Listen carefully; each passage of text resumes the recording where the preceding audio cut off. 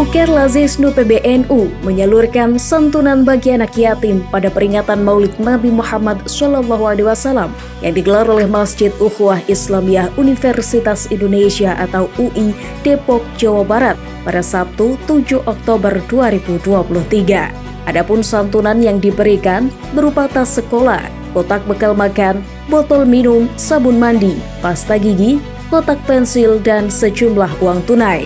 Selain anak-anak yatim, peringatan Maulid Nabi di Masjid Ukhuwah Islamiyah juga diikuti oleh sejumlah mahasiswa baru dari semua fakultas di UI dan masyarakat sekitar.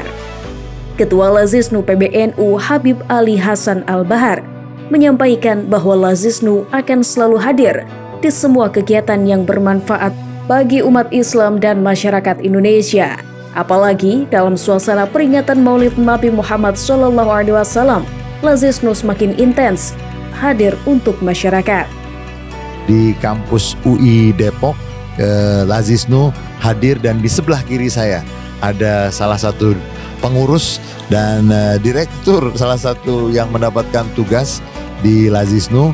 Eh, kalau lebih detailnya nanti beliau akan menjelaskan karena Lazisnu hadir di kegiatan ini untuk menjadi bagian keberkahan dari peringatan Maulid Nabi Muhammad SAW Ketua Dewan Kemakmuran Masjid atau DKM Masjid Ukhwah Islamiyah UI, Ahmad Solehan, mengatakan program ini rutin dilakukan setiap tahunnya. Pada tahun ini adalah kali kedua Masjid UI bermitra dengan Lazisnu PBNU dalam penyaluran santunan bagi anak yatim.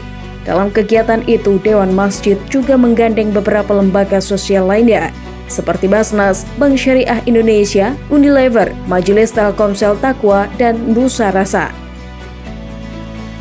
Eh, peringatan Maulid ini uh, diperuntukkan bagi para mahasiswa kita, uh, terutama mahasiswa baru dari Indonesia yang beragama Islam, sekaligus untuk me meresum, mereview apa yang disampaikan Habib terkait hikmah Maulid uh, Nabi besar Muhammad SAW.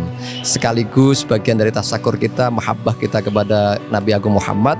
Bersamaan dalam peringatan Maulid ini kita memberikan uh, santunan kepada 1.100 yatim uh, yang uh, tersebar di kota Depok.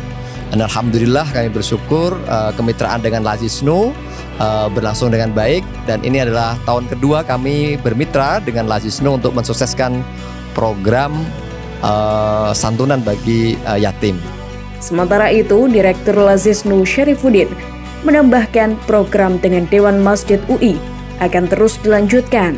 Ia berharap dengan program NU Care Damai, bagian dari upaya NU mendukung UI untuk menciptakan Indonesia lebih baik dan damai.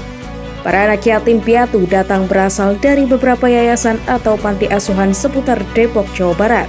Panitia berharap dengan terselenggaranya acara ini dapat meningkatkan takwa, meneladani akhlak mulia Rasulullah SAW, mendapat pertolongan dan penjagaan dari Allah Subhanahu wa taala dan mendapat keberkahan dari momentum peringatan lahirnya Nabi Muhammad SAW.